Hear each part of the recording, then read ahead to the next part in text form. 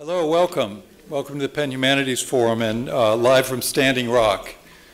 Um, I'm Jim English. I direct the forum. I, am just going to make a couple of thank yous and then I'll get out of the way. Um, I, want to, I want to thank Patrick Sparrow. Pat, where did you go? Oh, there. Uh, Pat Sparrow is the director of the American Philosophical Society. Um, they are partnering with us to sponsor um, this event as the keynote and kickoff of the conference on um, uh, translating across time and space, which starts now uh, but continues tomorrow and the next day. Uh, that conference, for anyone who's uh, considering attending part or all of it, is downtown at the APS on Fifth Street, not here in the museum. So don't come here at 8:30 in the morning on tomorrow when they will still be closed. Um, go downtown. But thanks to um, thanks to, to Pat and to APS for their uh, for partnering us with uh, with us on this. Also, um, the uh, the other co-sponsor tonight is the Penn Green Campus Partnership. Is Dan here? And Dan Garofalo, the director of that partnership, um, is a good friend, and, and, we thank him for his support. Uh, the event has proved somewhat more logistically complicated than we thought it would be at first. Um, that's for, I think, the good reason that the scale and the stakes of the protest at Standing Rock have, uh, have, have become larger over time. Um, so, so I'm just I'm delighted that, that we're able to uh, to do the event nonetheless with Winona LaDuke on the screen um, and our other participants and so many of you here uh, to, uh, to, to, to help us. So thank you for coming. Um, the curator and topic director for the whole series on translation this year is my, my friend and colleague in the German department, Bethany Wiggin.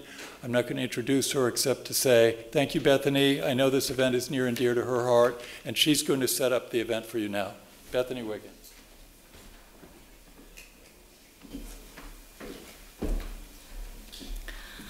Thanks for being here, and welcome to the Penn Humanities Forum on the campus of the University of Pennsylvania on the western bank of the Schuylkill River.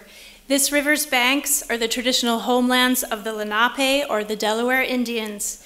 If you're a local Philadelphian, you probably know that the river got its present unpronounceable and unspellable name uh, from the Dutch, specifically from the Dutch colonist Anders Corson, who was sent to what was then known as the South River, or the Delaware River, by Governor Peter Stuyvesant, uh, who was in New Amsterdam, with the intent of opening uh, the river valley to trade with Europe, um, then currently, and the river valley was then currently in the hands of the Swedes. The area was famous in Europe for its productive wetlands and especially the birds, which seemed to the Europeans to fall from the skies in a land of plenty. So thick were the rushes in the marshes at the mouth of the Schuylkill River that the Dutch Corson could not see the river's opening and so called it Hidden Stream, Schuylkill. The Lenape called this place, called the river, the Tulpehana, or the Tulpehoking, the Turtle Place.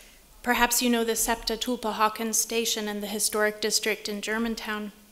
So what I would also like to say to you today is Nulelintam elipaek, meaning, I am glad you all came. I learned this phrase from the Lenape Talking Dictionary. The Talking Dictionary has digitized existing audio tapes made with native speakers of Lenape, preserving them and making them freely available on a public site funded by the National Science Foundation.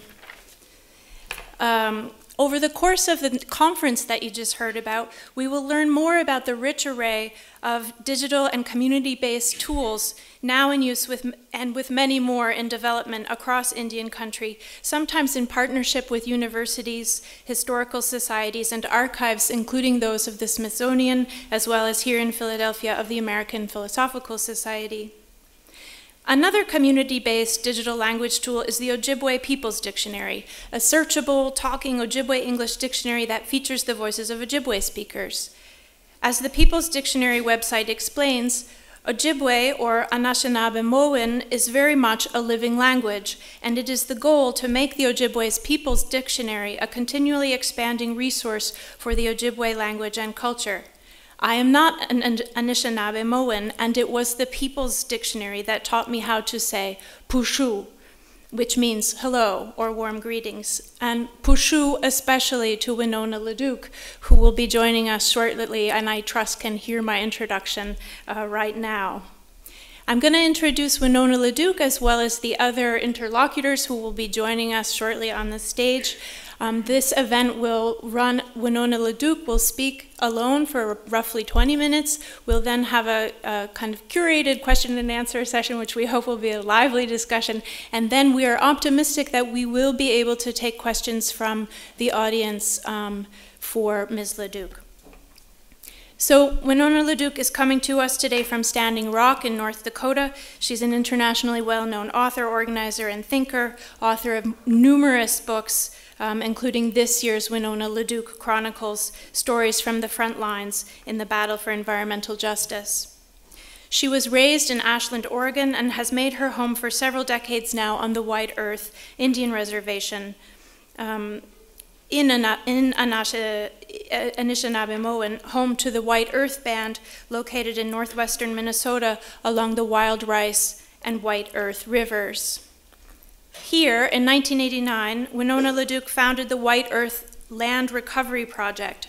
This nonprofit grassroots organization seeks to recover land for the Anishinaabe uh, people and is devoted to building citizen participation in environmental and cultural justice, as well as preservation work, to restoring prominent sustainable communities and building renewable energy, media, and youth and leadership development programs. In 1993, Winona LaDuke founded Honor the Earth to address two primary needs of the Native environmental movement that is, the need to break the geographic and political isolation of Native communities and the need to increase financial resources for organizing and change. We will hear soon from Winona LaDuke about current developments at Standing Rock involving the continued construction of the Dakota Access Pipeline. And I hope we will hear too about Native leadership in Minnesota that in August of this year brought the halt of the construction of another Enbridge project, the Sandpiper Pipeline, that had been planned to run from North Dakota's Bakken oil fields through Minnesota, including the pristine lake country uh, where the wild rice uh, uh, is grown. Winona LaDuke is the recipient of countless awards, including Woman of the Year from Ms. Magazine for her work with Honor the Earth and the Reebok Human Rights Award, with which she began the White Earth Land Recovery Project. We are truly honored to have her with us today. And I'll just introduce the three other people um, who will be joining me on the stage to talk with Winona LaDuke. Professor Marjorie, Professor Marjorie Bruchac glad you're here. Several of our panelists have literally flown in like with an hour to spare, so we're really thrilled this is all coming together. Marge Bruchac is a professor in Penn's Department of Anthropology, where she is also the coordinator of the Native American and Indigenous Studies Initiative and chair of the Faculty Working Group on Native American Studies. She conducts restorative research on indigenous collections in Northeastern museums and writes the research blog on the Wampum Trail.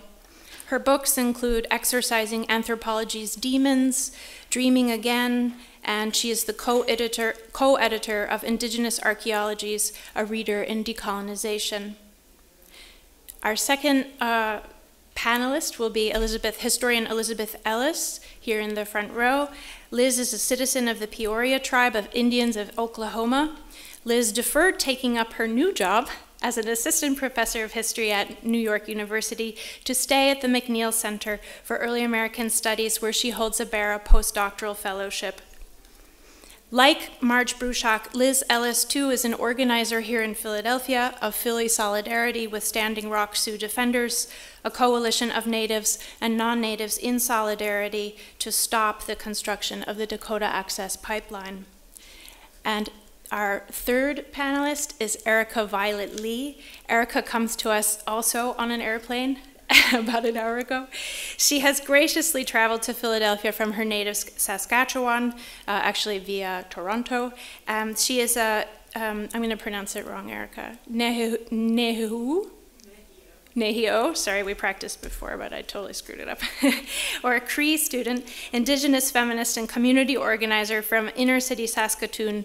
Um, she is part of the Canadian Youth Climate Coalition delegation, and she was at COP21 in Paris, and she will be at COP22 in Marrakesh.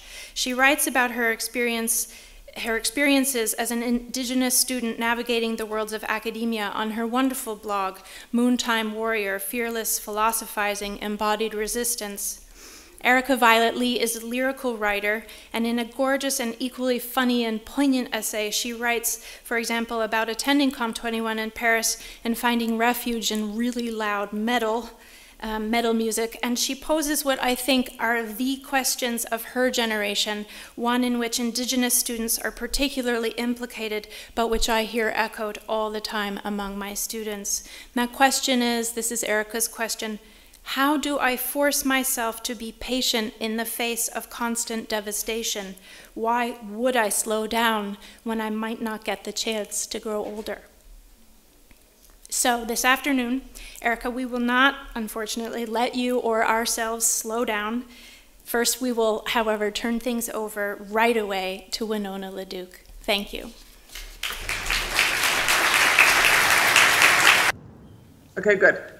Um, ani nindawe magadaduk nigagwe gitamagas bine sikwe ko makwando dem gawabani ka ish kaniganing and dunjaba miigwich akina king so thanking you in Anishinaabemowin, um, again for the honor of being here with you today. I'm, I'm, I'm very honored to be with you. Thank you for allowing me to, to be with you remotely. I, I really could not leave uh, this place where I'm at right now, but uh, to, as, and, and, thank you for the gracious introduction and for all who are there. Um, as I was said, I'm Anishinaabe from the White Earth Reservation. I'm Bear Clan. And um, I did spend a lot of time fighting one pipeline, and I'll talk a little bit about that. And I, I'm here at Standing Rock today. So as I reflected on what I wanted to talk with you about, um, you know, the, the topic that I'm going to address is, you know, first I must give a, a, a little bit of an apology because I'm not a linguist. My son is a linguist, actually. His name is Ajuawak Kapashesit. Maybe in a couple years he'll come visit with you on this same subject. Um, but he is far, has far more command of, of the work of restoration of indigenous languages than I do, and that is, that is his field of work uh, throughout North America. Um, but having said that, what I'm going to talk to you about is this question of where it is we are going, you know, under the general framework of what would Sitting Bull do? What would Sitting Bull do? And I want to say that at this moment in time, in our Anishinaabe prophecies, we are told that we have a choice between two paths those, those ancestors and prophets came to us a long time ago. And what they said was that um, at a certain point, known as the time of the seventh fire, the Anishinaabe people would have a choice between two Mikana, two Mikana paths. One path, they said, would be well worn, but it would be scorched. The other path, they said, would not be well worn and it would be green. And it would be our choice upon which path to embark. And I believe that that is where we are as Anishinaabe people, but I believe that that is really, really where we are in North America and in this world. We live in this moment where we are the people who are here now. We are the people who, at a spiritual level, at a physical level, at every level, have this opportunity to do the right thing. And it is our moment, which is in part why I am here. So let me tell you a little bit about what it is like. You know, I am uh, I am someone who lives to the east of what is known as North Dakota, or what I would call Dakota, Lakota, Mandan, Hidatsa, and Arikara territory, the Missouri River Territory, which really is its own territory unto itself. I live to the east of here, and you know, I, I, I come here often, and for many, many years, I have been working hard to try to stop bad things from happening in North Dakota. And I say that because what happens is, is that most Americans do not pay attention to North Dakota. What has happened is that over the past 50 years, there has been a consistent depopulation of North Dakota, with more people moving out than, than being li living here and moving in. And so you have seen much of the state return to what is known as a frontier status.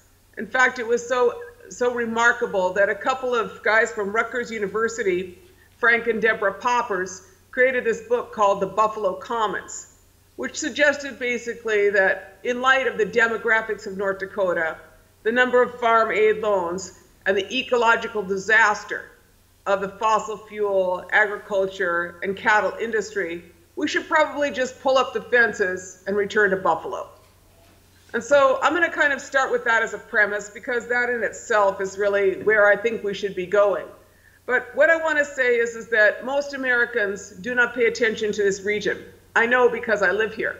In fact, y'all call it the Midwest. And I think that that's a really gross misnomer because I feel like, what does the Midwest mean? It is the mid of what West? What does that mean? That's a really bizarre, bizarre thing to name something.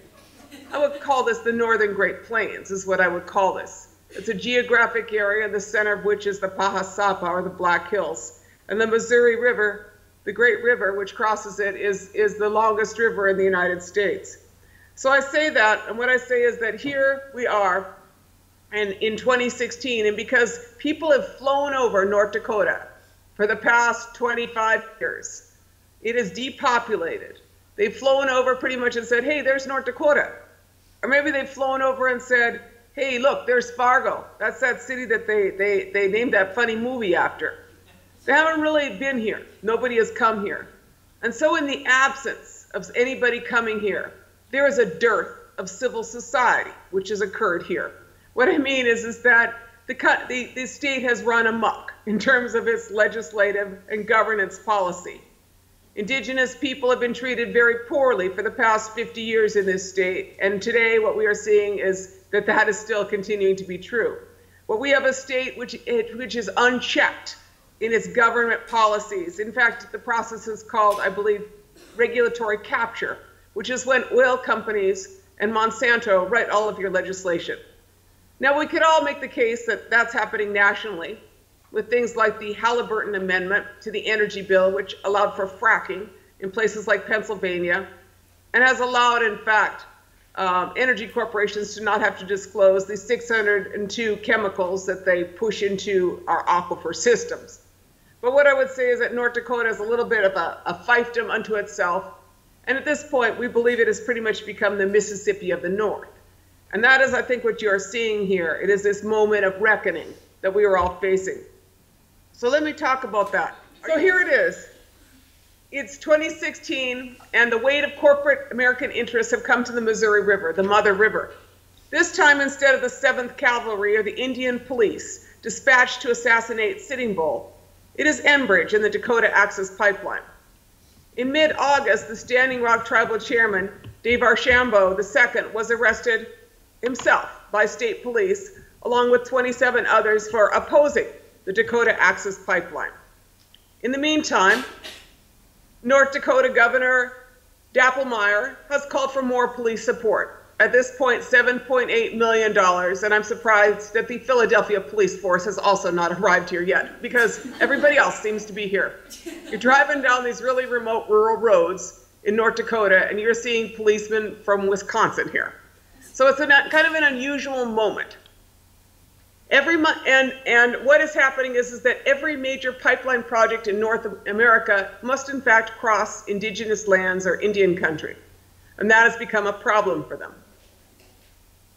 If you drive west of Fargo, that is a road rarely taken by most Americans. What you see is something that I'm going to tell you. Just let me try to have you imagine this.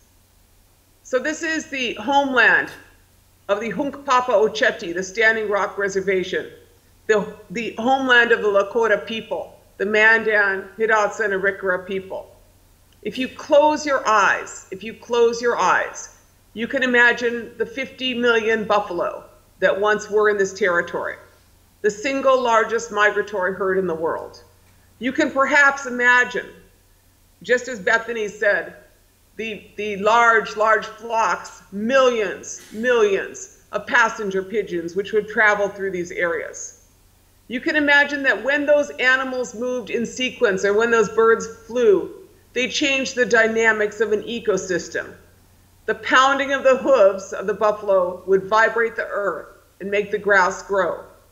There were once in this territory 250 species of grass, root systems up to eight feet in depth, and an ecosystem that, was, that, would, that would carry all of that life.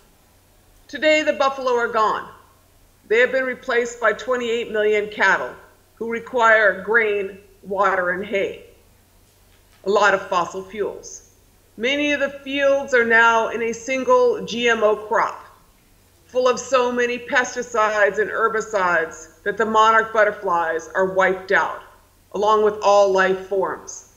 I have this theory, which is that you should not put things that end in side on your food, because after all, side is a word or a part of a word in suicide, homicide, and genocide.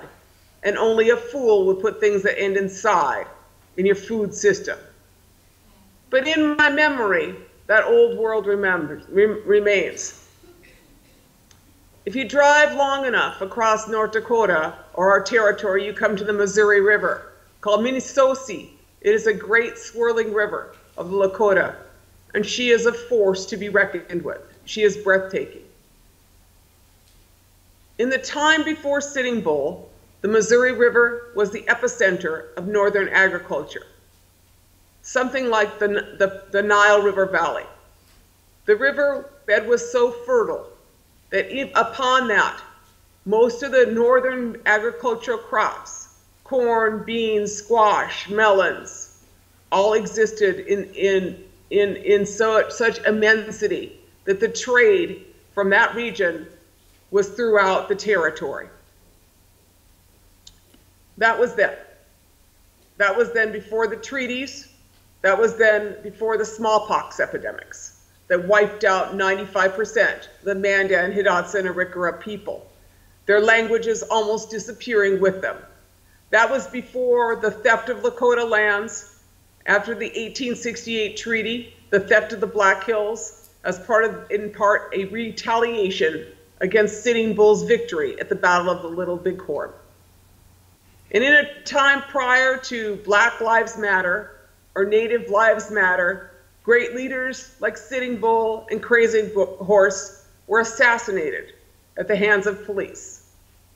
One thing that we know is that our people, all of our indigenous people, and in particular the Lakota people, have survived much. Forced into the reservation life, the Lakota attempted to stabilize their society. That is until the dams.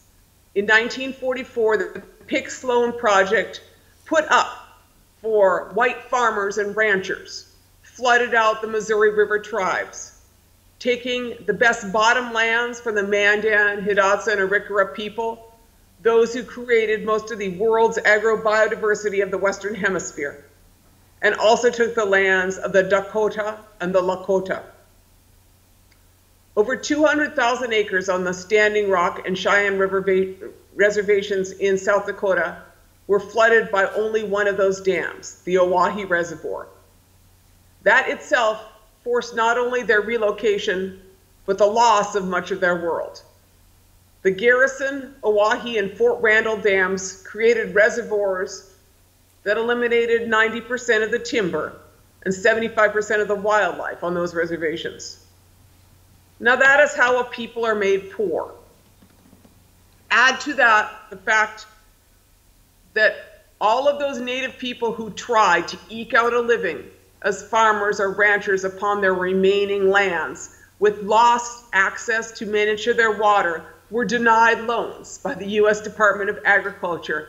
And it was not until this year that final settlements began in cases similar to the black farmers case, but known as the Keepseagle lawsuit for all of those Native people, particularly in the northern plains, who never could get a loan and never could get access to their lands. So, in the meantime, the vast majority of tribal lands have been leased out to non Indian landholders in these reservation territories.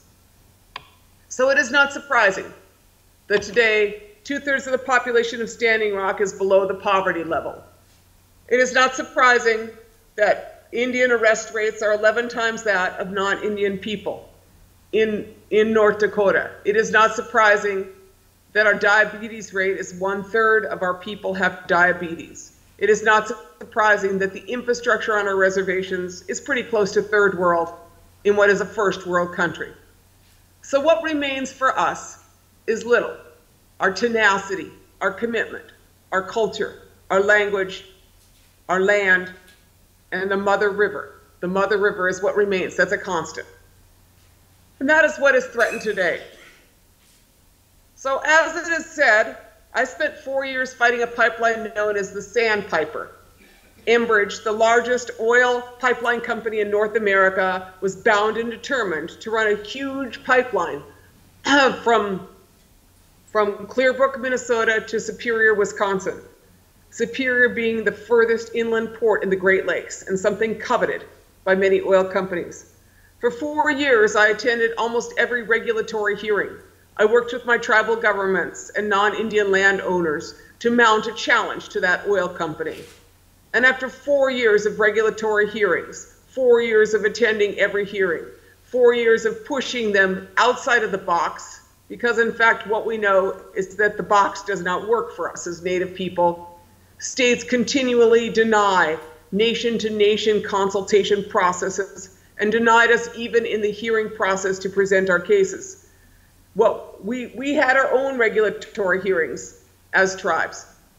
And what I know is that four years later, after our fourth sacred ride, our fourth sacred ride on the proposed pipeline ride, the ride against the current of the oil, one day after we finished that, the Enbridge Company announced that they were going to cancel their plans for the Sandpiper, 640,000 barrel per day fracked, fracked oil pipeline through the heart of our wild rice beds.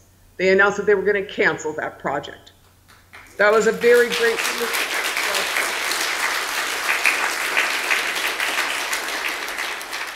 And so, what I want to say is that bad projects can be beaten. And I'm going to talk a little bit more about that later. But what I also know is that the day after they announced that they were going to cancel our project, they announced that they had purchased one third of the DAPL project, Dakota Access Pipeline Project, because Marathon Oil and Enbridge had promised their shareholders that they would provide a pipeline to them by the end of 2016. And so they looked to the west and they saw a pipeline that was about 70% built. And they thought, we'll do that. And so what has happened is, is that the pipeline is barrel, barreling towards the Missouri River from both the east and the west. It is barreling towards the Missouri River. It is complete in states like Illinois. It is 90% complete in Iowa. I believe it is about 90% complete in South Dakota. It is following almost the same exact route as the Keystone XL pipeline. So this is the Keystone XL pipeline, but it's not called the Keystone XL pipeline. And then it came to Standing Rock. Now, what has happened here is, is that this pipeline is uh, 570,000 barrels a day of Bakken crude oil. And along with that, if you're going to have it go all the way through, you're going to get 245,000 metric tons of carbon daily. Pretty much enough to assist in the combusting of the planet to oblivion. So uh, they've been pushing it. You know, they've been really pushing it hard. And so the Standing Rock tribe has tried to oppose them. But what has happened is, is that in this country it would be called regulatory capture. But the federal government has decided that um, it would use a different section of the um, federal law, the Army Corps of Engineers. And that federal law um, would mean that instead of issuing a 404 permit and requiring a full environmental impact statement on the pipeline. Hold on a second. So instead of doing a full environmental impact statement, they did this other thing, uh, which is called a nationwide permit. So without getting too technical, but it's pretty important for all of us, is that, see, under the law, a 404 permit, the Army Corps of Engineers must provide, for instance, notice and opportunity for public hearings to evaluate the project's impact pursuant to the National Environmental Policy Act. Now, that's the act that keeps, for instance, your drinking water clean and poisons out of the air in residential communities. That didn't happen. What happened is, is that instead, the Army Corps of Engineers used this regulation called the nationwide permit process, which is intended for minor, minor pipeline projects, kind of like if you had a pipeline from your school to the sewer system, like that. That's what that's required. That's what that is for. Or projects that would in, would result in up to a half acre loss of waters. So what happened is is that uh, they've been pushing through this process. On Monday of this week, which we call Indigenous Peoples Day, but apparently the Enbridge Corporation still believes is is Columbus Day because they were not there when we went to see them. Um, what happened is is that uh, the Army Corps began segmenting segmenting massive interstate pipeline projects like DAPL by artificially creating uh, treating the thousands of water crossings as separate projects, which would each qualify for a nationwide permit number 12. In this way, the Corps approved a 1,168 mile pipeline without any review process. We wrote a letter, uh, went out on Monday saying it is time to review this again. That's the first problem. The second problem, uh, and this is called regulatory capture, as I said, when corporations write your policies for you. The second thing that happened is, is this problem of desecration. So on Friday, September 2nd, the day before the Labor Day weekend, the Standing Rock tribe submitted to the court detailed findings of rare cultural sites, which include 27 graves, stone prayer rings, and other sacred artifacts directly on the proposed pipeline route, a place that had not yet been impacted. There's about 380 archaeological sites that face desecration. So what happened is, is that early the next morning, that would be Saturday, the 3rd of September, Dakota Access, DAPL, responded by bringing in construction crews and bulldozing the specific areas described by Standing Rock in their filing. When the protectors of the site entered the construction area, private security guards attacked them with dogs and pepper sprays. So, what has happened out here is that our people have been marginalized and called protesters and acting as if we are outlaws. But what I would suggest to you is that, in fact, you have a rogue corporation operating under a state of rogue regulations. And, and while this is something that is happening in North Dakota, what I'm going to suggest to you that, you know, which I'm sure you will understand, is that this could happen anywhere. And that it happened here is in part because nobody has ever checked in on North Dakota. One of the questions that might be asked in North Dakota is what exactly can a private security firm do? Can a private security firm that is allowed to put dogs on people also waterboard people? what can a private security firm do in North Dakota? And exactly, exactly how far are they willing to go um, to push this pipeline? And that is really a civil society question in the era we are in, and I will get back to that. And finally, there's this question of what exactly is fair. On August 18th, the Bismarck Tribune uh, revealed that the Dakota Access Pipeline Project had routed the pipeline through Standing Rock's lands and under its drinking water supply to avoid jeopardizing the drinking water supply of Bismarck, North Dakota, the state capital. The paper reported, quote, in the early planning process, Dakota Access considered crossing the Missouri River about 10 miles north of Bismarck, but rejected that option due to the costs associated with the proximity of wellhead source water protection areas of municipal water supply well. Instead, the pipeline went upstream from the main drinking water intake of the Lakota. So this is an environmental justice problem, but this is also a problem of systemic racism in North Dakota, where they feel as if it is okay to treat Native people as second class citizens in their state. So I feel like the fact is, is that in this moment in time, we are looking at a rogue corporation in a rogue regulatory system. And that is in part why we are here. We are also here because, you know, this is this time when we need to decide what we are doing and which way we are going.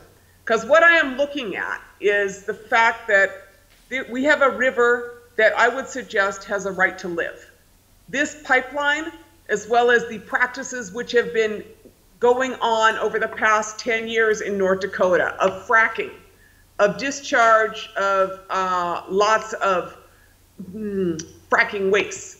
Like, for instance, this last year, 3 million, um, th this year, 3 million gallons of salt water with elevated levels of chloride went into the Missouri River one after another after another. But North Dakota's health director, David Glatt, didn't expect it to harm wildlife or drinking water supplies because the water was diluted. You know, there's this old saying at the Environmental Protection Agency I heard one time, which was the solution to pollution is dilution. That's not true. the solution to pollution is to not make the pollution in the first place. Um, so, you know, it is one thing after another, and, you know, you don't need the whole pipeline lecture on that these are not safe. But what I want to say is, is that this is this moment in time. Um, over the past three weeks, you know, I've been out here a lot. Um, I just rode my horse up against the current of the oil. Three of my horses went and we rode to Tioga, the place of the proposed um, outlet for the oil along the proposed pipeline route. But what I have seen in the short time that I'm here is a determined people, very determined, coming from everywhere because, you know, people see what is going on and they know what is right and what is wrong. And so we are joined. You know, there are indigenous people here, but there are all kinds of people here. I've interviewed a lot of people and, um, you know, they've come to stand with us. But what I know is, is that, you know, as we hold in our determination, the state of North Dakota continues to go more and more rogue. So there's probably about 130 people who have been arrested here. You know, and they have been arrested on charges which keep escalating. You know, perhaps the most prominent arrest and most entertaining arrest was, of course, the arrest of Amy Goodman, a journalist who was charged with trespassing. And they did issue a, I believe they did issue a warrant for her. Um, when I talked to, you know, when I read the Bismarck paper yesterday morning, the cover story on the on the paper was pipeline work continues, and then right under that was Amy Goodman's hearing coming up. Discussion will be if Amy Goodman is actually a journalist. so I was looking at that, thinking, you know, how out of touch can you get, North Dakota? Apparently, you've been not watching any national TV, and apparently, you have no idea of the command or the idea of the First Amendment rights. But the second thing I want to say is, is that North Dakota has now $7.8 million in military aid. You have seen some of the pictures, I'm sure. Um, there is really no reason to have a mine resistant armored personnel carrier, known as an MRAP, appear on a rural North Dakota road. These, the people that are here are committed to nonviolence, and yet their charges are getting trumped and escalated so you have people praying in a teepee that are charged with rioting. We have felony rioting charges coming down on more and more people each day as North Dakota escalates its behavior. And so it is this moment in time. You know, I feel like this is the moment of, you know, whether it is Selma or, you know, what it is. This is a moment in our movement where we need to decide what we are going to do. And what is happening in North Dakota is that there are courageous people who are here. There are courageous people, and we seem to have the numbers to be charged because if it was just me and my family, we would be in jail still, and just a few of us, you know? But there are many, many people who are here committed to nonviolent direct action. And those numbers will continue to be here. Winona. To me, this is this moment in time for civil society because we live in an era, you know, where indigenous people hang on as hard as we can to that which we value, whether it is our languages, our ceremonial practice, our sacred sites, or our water. And we do that with a great determination and an understanding that what we have now is our, what our ancestors gave us, and what we fight for is what we pass on. You know, that is what's happening here. Right. So what we have is this moment that is occurring here, but it is really this moment in America. We, we live in a country which has vast levels of consumption. You have infrastructure which is crumbling, a country which has a D in infrastructure, where gas mains explode in cities and bridges collapse. A D in infrastructure. But yet we are looking at, in North America, maybe $50 billion of new pipeline proposals. What we say here in our territory and at Standing Rock is that instead of you know, $7.8 million in military aid. We should have $7.8 million of solar and wind. And what we say is that instead of trying to shove a pipeline down our throats, what we really want is pipes to go to places like Flint, Michigan that deserve them. In our teachings, this is this prophecy time where you have a choice between two paths. And from our perspective, this is this moment that is absolutely clear that in this moment we have a choice between t- these two paths and and the people here are clear upon which path they are going to embark and we are hoping we are hoping that other people will not be only vigilant in their support of this very, very remote and, and looked past for decades territory in North America, but will also take up those struggles in their own communities at this moment that we have now. Miigwech, thank you for your time. Okay, great. So we have been circulating our questions, um, talking with one another via email, and um, are really, um, we're going to try and keep it pretty casual. Um, but this is a new format for us, so bear with us as we go forward. We're going to ask questions um, for about 20 minutes, have a conversation with Winona LaDuke, and then we'll um, turn the mics over to you. Marge will get us started. So I literally just flew in from Arizona from the gathering of the Association of Tribal Libraries, Archives, and Museums. It was the first international conference for that group.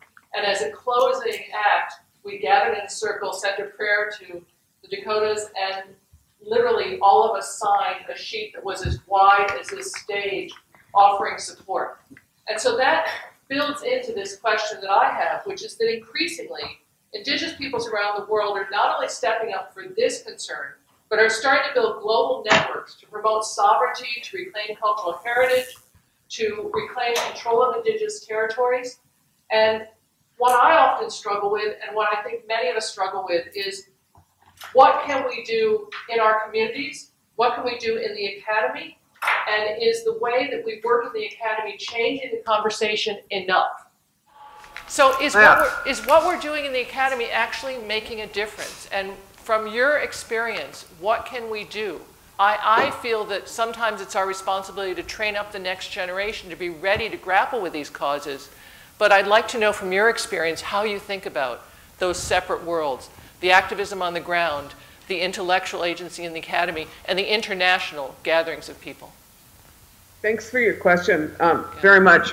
I, um, I would say that, you know, it is a balance between all of them. You know, one of the greatest pleasures I've had out here at the camp, to be honest, is, you know, I, I walk around, I got, you know, I, I stay down there off and on, but I walk around and uh, there are a lot of young people that come to me and say, you talked at my school. You know, I remember you, you talked at my grade school or you talked at my university. And so, you know, this, this idea of, uh, you know, critical thinking in academia uh, is essential to to the work that we need to do. Um, you know, so keep training Native scholars, but in, keep training Native people. But uh, you know, I feel like that academia also does a disservice um, to many of us. You know, I've obviously spent a lot of time in school, but you know, it, in in kind of the entrenched privileging of knowledge and this which I you know I think you are in part getting at, is that you know academia is where it all is you know, the fact is, is that things are moving very fast, fast in, in, in the field outside of academia. So I, I don't have, you know, most of us don't have time to wait for someone to finish their PhD on this. Um, we're going now, you know? And so make sure that your students are allowed lots of field work and they get credit for it. I'm sitting in a room with a couple of young students from Evergreen State, my friend Zoltan Grossman students, and they're getting credit for being out here. You know, don't you know don't think so entrenched in academia that that what you have is uh, so much you know so much powerful. Because it is a, a, a, very important but also sometimes what is going out in the field you know in our territory is also really important. Um, is that answer your question marge? Thank you. I would love it. Maybe if erica you want to jump in at this point?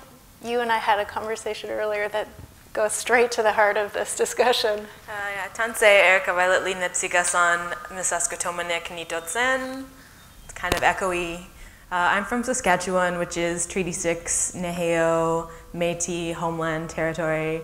Um, across this colonial border that actually is not a line if you drive through it. There's no, there's no giant line separating our um, territory. That's all Plains territory. Uh, I spent some time in Standing Rock, uh, and it was really beautiful. It's about a 10-hour drive from where I am, where my home is in Saskatoon. Uh, I'm a philosophy student, which is part of why I'm here. As, although we have a huge indigenous population of students in Saskatchewan, um, obviously philosophy is a very white discipline.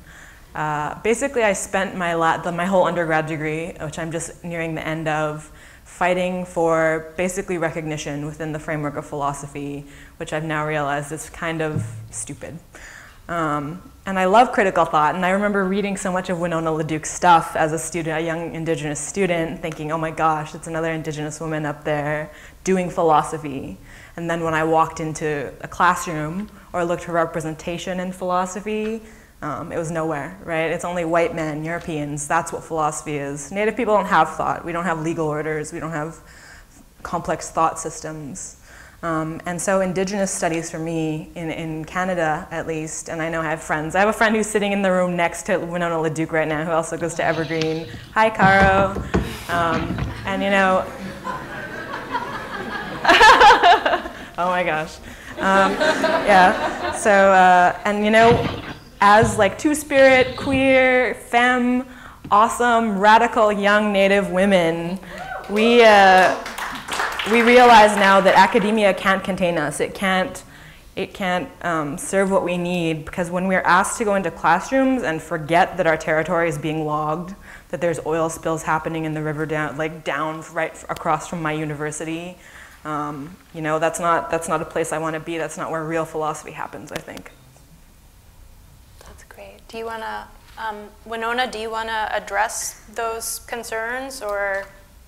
Yeah, I mean, I just I just want to say, you know, thank you for what you're saying and for your for your discipline in your work. I mean, you know, it is uh, it, I I cannot just you know I totally agree with you.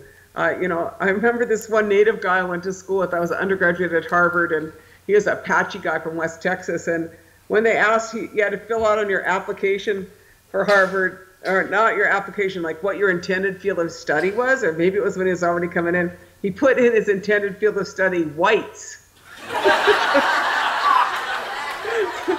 which I thought was super funny. I was like, I guess that is kind of what you study when you go to Harvard, Well how white people think, you know? So, uh, you know, I mean, it is true. It is these universities and, you know, all these tenure tracks, and certainly Native professors are very scant in any of these.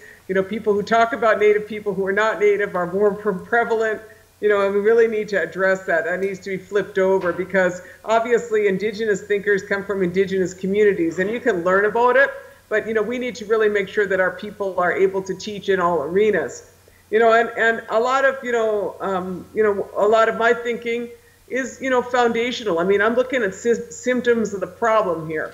But the basic foundational thinking of indigenous people, for instance, the teaching of minobimaatisiiwin, the good life, minobimaatisiiwin, you know, there's nothing in minobimaatisiiwin that has to do with uh, level of income, level of consumption, you know, power over others. The, the idea of the good life is that, you know, this respectful set of relations in a world that is animate, a reaffirmation of our spiritual practice and our cultural practice on a daily basis, you know, with with with the natural world and understanding that our relatives have wings and fins and roots and paws and an under, understanding also of something like intergenerational uh, equity is I guess what academics call it. But you know, in each deliberation, you consider the impact upon the seventh generation from now.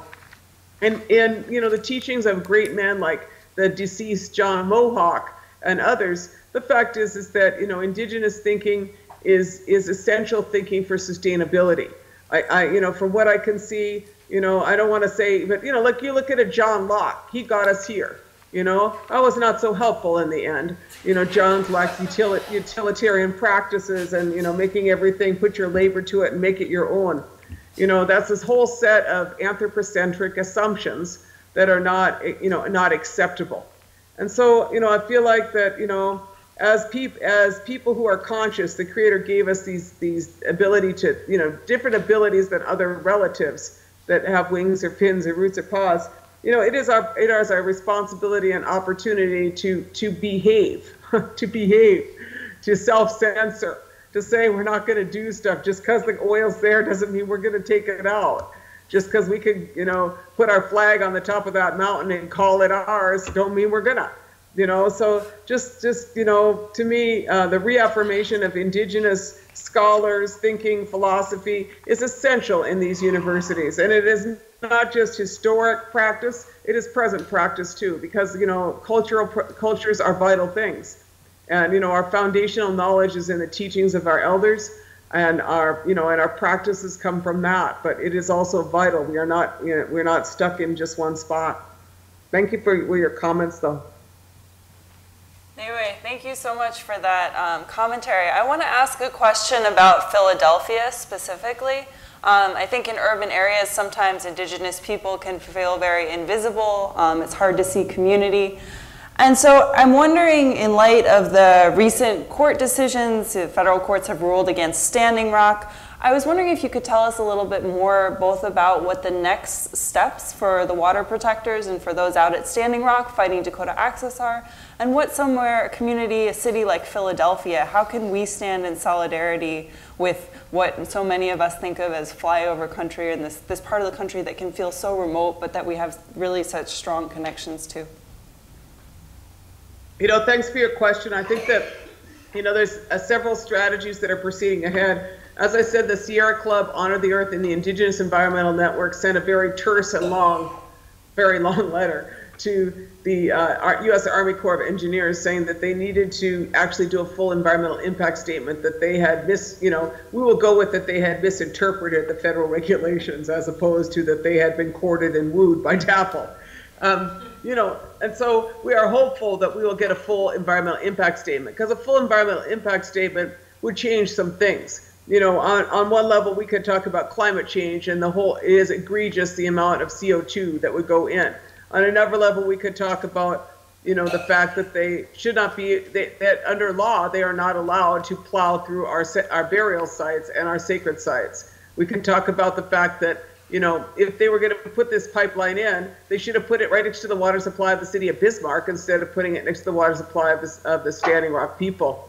You know, so there's a lot of things that you know should be discussed, and I think would you know if this this this pipeline would not pass a full EIS, full environmental impact statement process, and I think that you know to be honest with you, in America, very rarely, very rarely is the no build option exercise, but that is really the precautionary principle. You know, in practice, precautionary principle is don't do it if it if, unless you can prove it's going to work out. And uh, that has been applied in a number of European countries and needs to, you know, we need to we need to to change the rogue nature of American legal institutions and regulatory authority. And that's, you know, kind of a far cry ahead, but what I'm saying is, is that in a, in a country which considers corporations as persons under the law, we have a problem with law. In, you know, in a, in a country which up here we just saw one of my nephews was arrested, and in his felony charges, he was told that he could have no more contact with the victim. When asking who the victim was, they said Dakota Access Pipeline Project. And he said that's not even a corporation that's a project that now is considered a victim. You know, so we got a lot of work to do. You know, I'd like to ask you to, you know, to to to stay on that process. We need to have the rights of nature and the rights of Mother Earth be higher than the rights of corporations. Those are the kind of things that Philadelphia should do. You know, because you had all that historic constitutional work and stuff. But you know, I mean, I'm just saying, y'all do that kind of stuff out there. But you know, and you know, I mean, I, I think that there's some other question, you know, things is that you know, stay in, in in touch. You know, continue sending out support. I think we need some more yurts, frankly.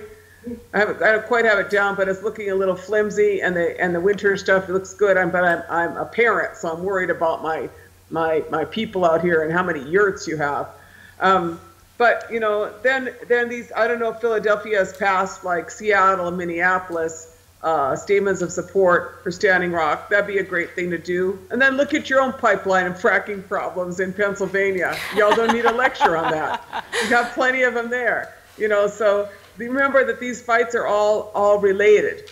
And you know, in all places, corporations that now control the water, you know, this is a problem in all their territories because you cannot drink oil you cannot drink oil. And so, you know, let us be diligent. Don't abstract things out too much and spend too much time on everything else when now would be the time, you know, to make sure that you can drink the water. So. Thank you so much for that. I um, was talking with you before we got started about, um, you mentioned already the name of Zoltan Grossman and some of his students are there with you. Um, when I was preparing for this event, I had the real pleasure of listening to um, one of the episodes of your radio show um, with Zoltan Grossman. It's on PRI. You can live stream it. I really uh, recommend the show to you. um, here in the audience. Um, the question really has to do with um, this how do we grow the we? You, you, you, know, we've heard you speak so eloquently about we need to, and now is the time for us. And um, in that conversation on the radio uh, with Zoltan Grossman, you both discussed um, what Zoltan called unlikely alliances, and I was so, um, you know, really taken with that term, and um, and I, I, wanted to. Um, um, to, to ask you to, to talk a little bit more about it. Um, in the show, you and Zoltan talk about how these unlikely alliances have occurred really since the days, since like the earliest days of um, settler colonist and indigenous peoples cooperations actually, often um, to um, block businesses' encroachments on, on lands of smaller people, smaller concerns. Um, and the big business, you know, we just heard you say, like, very much um, supported by the federal government at this point. But um, can you talk a little bit about some of the particularly successful examples of these unlikely alliances. Um, we know some in, in, historically, of course, here in Pennsylvania.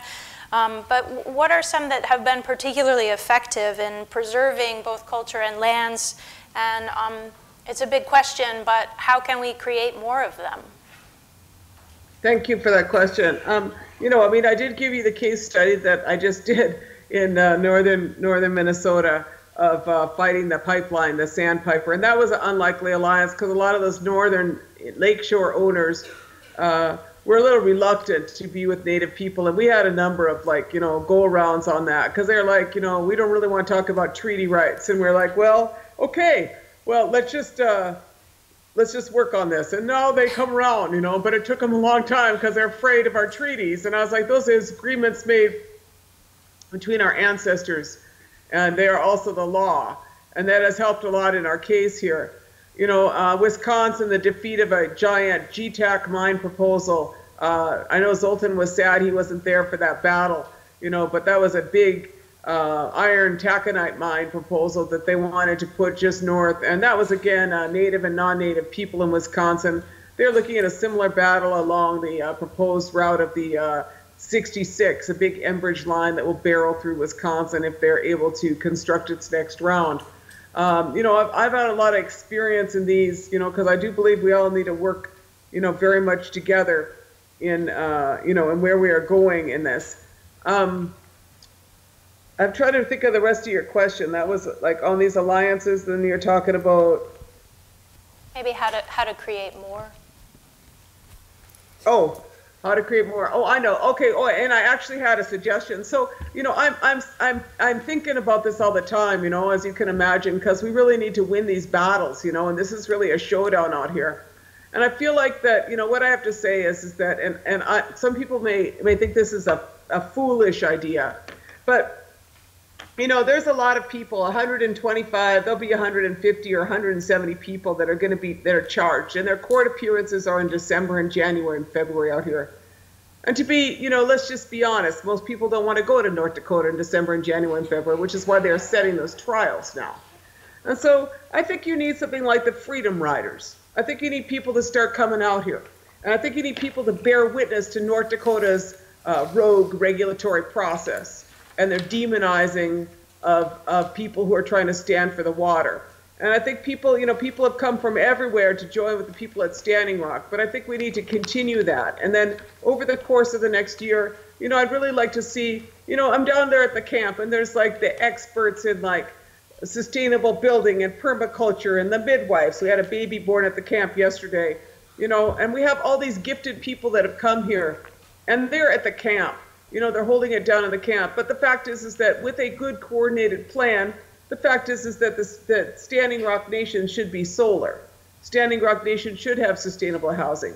The Standing Rock Nation should have, you know, more holistic health care. And so I feel like this, you know, this moment is to to to to do something right, and this is this is the place. Um, you know, whether it's like I used to think about those things called the Venceremos Brigades, or the people who would go to Chiapas to help down there. I think you need that out here. You know, something like that, but it has to be really well organized, and it cannot be a lot of church people because it's very gets to be a headache a lot of times.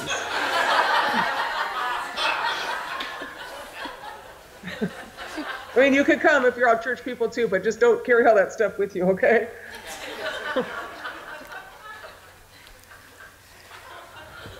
Winona, if, if you don't mind, I'd like to ask you to go in a very related but slightly different direction, related in terms of how indigenous people think about language and land and history and culture, but it may seem like a diversion for people who are thinking about political action. Coming from Gila River community in the Southwest, I was recognizing how in that desert landscape, those indigenous people have known how to manage that land for millennia. And their oral traditions talk about coming out of the land, not of migrating from somewhere else, not of hunting big game and, and absent-mindedly stopping somewhere because the weather changed, but of literally knowing that landscape inside out, knowing that ecosystem inside out for millennia. But as with virtually every indigenous nation across the continent, they have been subjected to settler colonial policies that change the landscape, change the land, force them to relocate but yet they find ways to rebuild and recover. And so I found myself thinking that, you know, I'm a northern woodlands people, person. I know how to survive in the forest. I have no idea how to survive in the desert. I have no idea how to survive on the plains. But what is coming out of this moment in time that's helping Great Plains people recover who they are and where they are and how can we encourage them in that and what can they share with us that might help other people think about who they are, where they are, what is that place, what is that tradition, what is that landscape, and how can those places be preserved? I think you know I think that's a really good question. I mean, what I've seen here, like I you know I haven't been to a lot of them, but there's a lot of ceremonial practice at the camp, and you know people are bringing their different ceremonies in to to reaffirm you know because our spiritual practice keeps us strong you know, and even us, we rode for four days on our horses, you know, and I prayed all the time when I was on that horse, you know, that, that you know, for, for our land and for our water and for our, uh, all our relatives and, you know, to keep that, that, that bad away from us. And so, you know, there's this, you're, you are right that there is, you know, this, that strengthening and supporting the restoration and the protection of native spiritual practice and native cultural practice is really, you know, very important. I mean, this country was founded on precepts of religious freedom, but it was not until 1978, with the passage of the American Indian Religious Freedom Act, that native religions were not outlawed. And so, you know, to me, uh, you know, we still take a big hit. You know, the Apache down there, you know, at Oak Flats, trying to have their ceremonies they had since time immemorial there, you know, their women's coming of age ceremony, are being told that their their their right to do that or their ability to continue their traditions is obscured by the interests of a mining company facilitated by John McCain. You know, I mean, there is case after case after case after case that continues today. And so, you know, to me, um, you know, we work hard. Like I said, I have one son who is a linguist. You know, my other children are cultural practitioners, but no one is like as prolific as him in the study of linguistics and the restoration of language. You know, but in, in our case, you know what we what you, you know we need to be able to to do both. We need to be able to restore and strengthen things uh, while we live in in in our places that are sacred. And here you know looking out here and and you know uh, a couple of days ago i had the opportunity to be in a mandan earth lodge. And that earth lodge is made out of giant cottonwood trees. It is a, a circle in, in shape and it's kind of domed at the top and it is covered entirely with earth. And uh, you know it is so thick it's so thick and so large, you know, that, that, that those families would live in there all winter and they would often bring, uh, they would even have some lodges that would be for their horses or they would have the horses in the lodge with them. And they, you know, had developed architectural strategies to, to meet the cold of North Dakota. And, you know, maybe this, this, the, the small time version is a yurt on the public lands.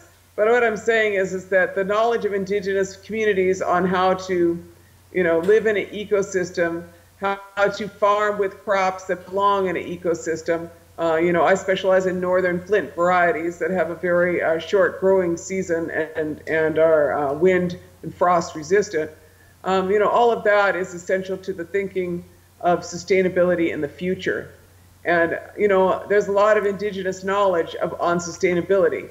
And, and you know, the, the thing that, you know, is always is you know, the way to do that, though, is to support us in the restoration of that knowledge and come visit us as it is restored, not extract the knowledge from us and, and leave us, leave us in third rate technology and the, the inability to capitalize and still facing giant beasts and monsters of industrial society. You know, so to me, it's this opportunity for partnerships and those partnerships. And Standing Rock is a place where that's going to happen. A lot of people are interested in solar here are interested in these traditional lodging and building structures. And I'm hoping that we see all that, you know, happen here. But people need to, you know, work on that too, because at, you know, these in the level of D um, of the, you know, de-development, you know, or underdeveloping, underdeveloping as, you know, as the practice that has occurred for the past 500 years and continues today, territories, as every asset that we have is stolen from us, or taken from us, or wrested from us or made illegal or parted away. You know, we need to ensure that our wealth, our cultural wealth, our spiritual wealth, or the wealth of our water, you know, our agricultural wealth remains because that is what gives our language and our life our vitality. So I know both Erica and Liz have a quick question for you, Winona, and then we're going to open it up to the audience. Um, Erica, you want to go shoot first? Uh, I liked in the beginning of your talk, you talked about a return to the frontier and North Dakota as a flyover state, as a, as a state and a place that is looked past. And I think, like I said, I'm from Saskatchewan, and people, Saskatchewan is sort of the joke. Like, Saskatchewan is the word that they'll say when they mean, like, the middle of nowhere. Um, let's go to Saskatchewan, the middle of nowhere. That's where I'm from. And uh, in the north of Saskatchewan right now, what's happening is uh, my friend Sylvia McAdam, who I'm sure you know, uh, we work with Idle No More together, uh, is defending her lands in the north from loggers, and it's like being clear cut completely.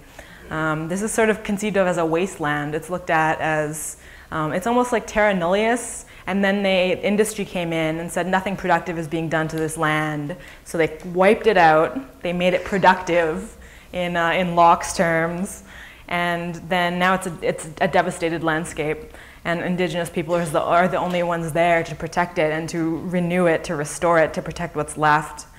Um, if you go down from that logging, you'll hit the river, this uh, Kitsikeshawanasipi, the Saskatchewan River, which was devastated by an oil spill. If you go a little bit more north, or a little bit more south, that's the site of the Northwest Rebellion and Louis Riel's resistance in the prairies. Um, and a little bit more south is where um, a young boy, a Cree boy called uh, Colten Boushie, was shot and killed by a farmer for trespassing on his property um, just recently. And you go a little bit more south and you hit, uh, you hit Cannonball River, you hit St Sacred Stone Camp.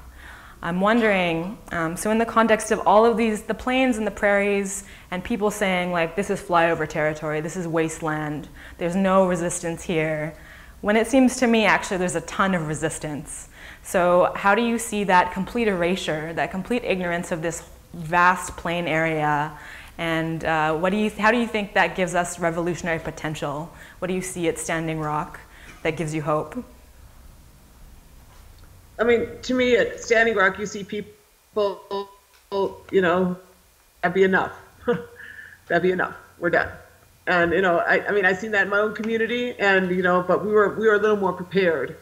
And we had a little bit more uh, you know we, we we'd already gone through a couple of big battles on this stuff. And so i have to i would say my community was quick, to summon and, and uh, you know to turn out. And we did not have so many variables against us in terms of the regulatory capture of major corporations you know but these community this community is a tough community and it's very resilient. And it is a moment when we really need to support them and to make sure that the tribe has a financial backing to ensure that they are able to care for their people and the people who have come to visit them. And then also the legal counsel that they will need. And then as well the organizations. But it is this moment in time for sure. You know as you spoke of louis riel i'm a big fan of louis riel. If someone could be a fan can you be a fan of louis riel? Yes. anyway he is he is one of my you know one of my my, my most amazing people that I think often of, you know. And, and you know, for those who do not know, but he was a Métis patriot, you know, and as he may judge by my, my last name, I'm part Métis myself, LaDuke's. LaDuke is not an Ojibwe name, as a matter of fact. But my relatives came from Manitoba. LaDukes came from Manitoba when they were Métis and they married into my community many years ago. And I often think, what would Louis do if, if Louis' vision of a multiracial democracy had prevailed in Manitoba, you know, during the time that he spoke for that, and the time that he joined the Métis people and you know the Native people, and then joined by the Irish people against Lord Selkirk and the and those who were the colonial practices that came out of England, it would have been a different province. It would have been a different province then, and instead he was hung as a traitor, as you know. And it was a hundred years after his hanging as traitor, 110, I believe, that Louis Riel was declared a provincial hero in Manitoba and is, you know, considered to be one of the fathers of Manitoba. And it's so ironic that, you know, you, you must be hung before you're considered to be worthy. And so to me, it is, it is a territory that has been fought for hard by people. And the absence of interest intellectually and in terms of coverage does not mean we do not exist because we know that we exist. We know where what is called, they call it the medicine line because back in the day, flee if they crossed that line, the cavalry would not follow them. You know, and that happened to many of our people. But our people, you know, as you know, the same as you, I'm sure my girl, you know, live on both sides of the border. Anishinaabe, northern part of five American states, southern part of four Canadian provinces. It is squarely our territory, the Great Lakes territory. That is where we come from. So um, Liz Ellis has graciously ceded her question to you. Um, and we can take questions from the floor. I see that Jennifer in the back has the microphone, please, and Lily also on the other side. Raise your hands, wave them high and proud. There you go. Hi. I may not have the lingo down just right, but contextually, um, why would it not be appropriate to declare war on the U.S.? And I'll say one other thing about that. The facts show us that the U.S. stands on bad faith, denial, and fraud systemically in place against Native peoples since Columbus, and now visible in the unfortunate reality of confrontation of terms that Occupy gave us in the form of the 99 versus the 1%.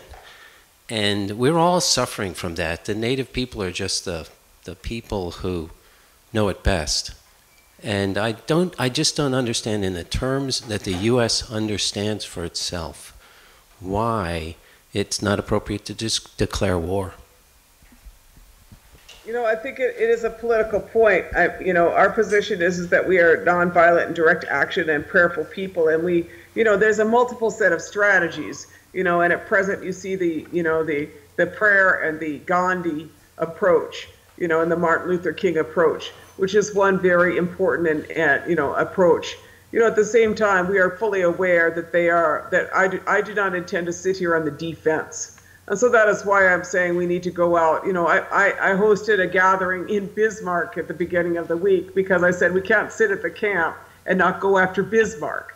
We have to start going after Bismarck so that people are held accountable for the decisions that is made in North Dakota so they cannot just continue to watch the media portray us as, as you know, evil doers, which is what they're trying to do, and justify the increased use of force by the Morton County Sheriff and the state of North Dakota. So I, you know, I believe that we will continue our nonviolent direct action. We will count on our allies elsewhere to support us, but yet at the same time, it is time to directly challenge the state of North Dakota for its rogue behavior because that is enough. We're done. You know, so that's what I say. And North, North Dakota is well aware of my position because I've, you know, I've been at this for a while. We have a question down here in the front. Thank you. Can you see me? I can see you. Yeah, thank you. My name is Cindy Ott. I teach at University of uh, Delaware. And I'm curious what you think about the idea of the modern Indian in terms of a lot of people can celebrate the Indian of the past and show great reference reference for them, but then it can be a very um, difficult to describe what the modern Indian is, and so how you can move forward in time and still celebrate Indians who were in the 20th century and not just in the past. Thank you. That's such a great question, you know. It is true. People like Indians people in a certain way, you know, and, and, and, uh, you know, I mean, I, I deal with it all the time because I'm, you know, pretty much a living thing. And I, and I go in these places, oh, and, and, you know, it can be difficult and awkward, but I'm, you know, you guys hung out with me. I'm a very reasonable person, but I also like, you know, I'm 57 years old and you can't talk to, you can't down talk to me. It just isn't gonna work, you know? So, um, you know, you, you, you know, it, it is it's it's cool to be indigenous and and our you know all our stuff is cool and we need to be honored for it and we need to be able to actualize it you know in its larger potential and um, you know I think it's a funny thing because you know uh, a, a, few days ago on the on the 10th is when they celebrate that Columbus Day, and I decided that we were going to ride our horses up there to see Enbridge in Tioga, North Dakota, and I didn't really realize it was Columbus Day, but we call that Indigenous Peoples Day, or mm-hmm. over here they call it uh, All Chiefs Day over on these reservations. So we're riding our horses, and there's about 40 of us on horseback, and we rode directly into the Enbridge facility after we realized that they were all celebrating Columbus Day, and we're off. so it was this really great social moment. I was like, I'm glad you're all shopping in Bismarck because we're here, you know, which saved me a lot of fracking trucks and probably a lot of riot police. Um, but you know, it's this moment. The other thing I want to just say is uh, just a personal thing to you and for anyone else who is from Delaware. How the hell do all those corporations get chartered there? Can someone check on that? I mean, the, the fact is, is that almost every corporation we were fighting was chartered in Delaware. Can we not start revoking some of those corporate charters out of Delaware?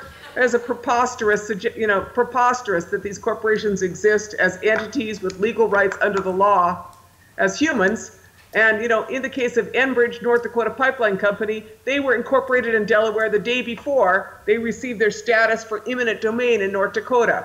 So, you know, I feel like, you know, I don't mean to be pick on Delaware, but for crying out loud, you know, let's get moving in Delaware. Be a super big help to the rest of us fighting corporations.